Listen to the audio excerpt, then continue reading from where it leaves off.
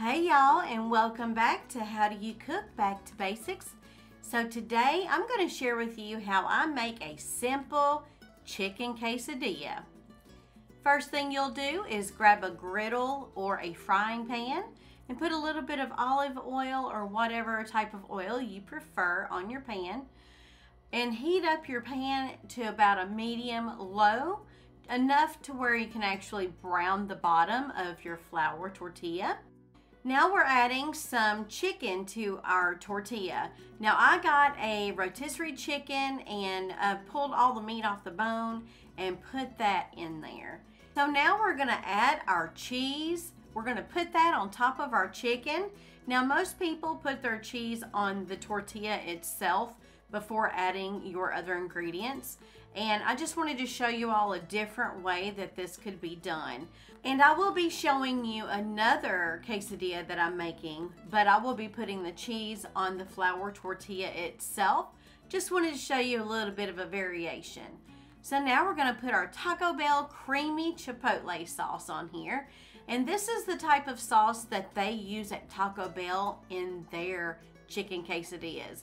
This is so good and I absolutely love it. So what I'm doing here is I'm letting the bottom of my tortilla shell brown up just a little bit before I take my spatula and flip over one side of my tortilla shell. And once you flip that over, kind of press it down a little bit so you can marry those ingredients together.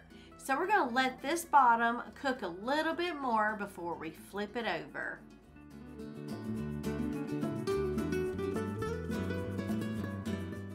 So now we're gonna flip over our quesadilla and brown up the other side just like this one. It is so golden brown. It, looks so delicious and I cannot wait to sink my teeth into this one. So this quesadilla is just about ready. Now we're going to take this off, place that on a plate, and I normally get a pizza cutter and cut the quesadilla to where you can have, you know, little slices. And so on this one, I'm showing you the other quesadilla with the shredded cheese on the bottom, your chicken, and then your creamy chipotle sauce. So I'm just going to leave it here and let you all watch.